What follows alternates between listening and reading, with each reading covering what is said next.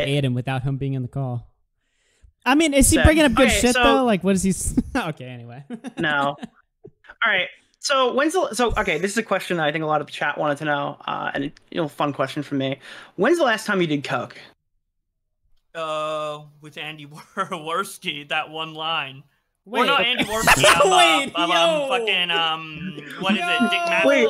Oh my I was god. getting I was getting the jokes confused. You know, Andy's. like, I thought Andy was clean. no, no, no, no, no, no, no, no, no, no, no, no, no, no. Vito and Dick Masterson last or uh, Okay, not not VidCon. Andy Uh, I tried one line. Like everybody tried it, but I, I only tried one line I didn't. Sure. Know.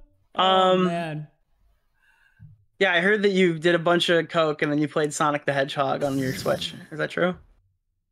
No, I I I snored the coke and then I debated Vito on Mr. Girl. Dude, every time Andy Warski gets brought up, it's somebody talking about his medical history. I see King in the chat. Um, anywho, when's the last time you smoked weed? Uh, yesterday. Get off that shit. So you're why are you smoking weed while you're taking antipsychotics?